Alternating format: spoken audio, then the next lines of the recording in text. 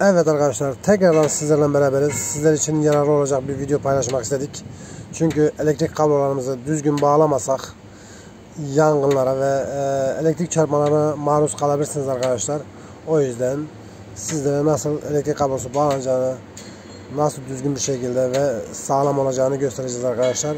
Siz de bizleri takip ederseniz sağ alt köşeden abone kısmından sadece tıklamanız yeterli arkadaşlar. Bizler de sürekli her gün sizlere videolar paylaşmaya çalışıyorum. Yani insanların yararına olacak videolar paylaşmaya çalışacağım arkadaşlar. Evet gördüğünüz üzere kablolarımızı açıyoruz güzel bir şekilde. Çünkü düzgün bağlarsak yani e, kabloda ısınma olmaz. Isınma olmazsa yani üstündeki plastik aksamı erimez. O yüzden düzgün bir şekilde bağlamamız lazım elektrik kablolarımız arkadaşlar. Can güvenliğimiz için yani olması gereken şekilde bağlamamız lazım arkadaşlar. O yüzden sizden ricam videoyu sonuna kadar izlerseniz arkadaşlar sevinirim.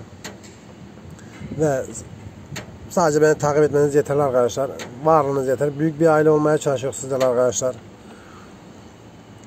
Ee, sürekli yani fırsat buldukça sizlere video paylaşacağım arkadaşlar. Yani her gün bir video paylaşabilirim ya da iki video paylaşabilirim.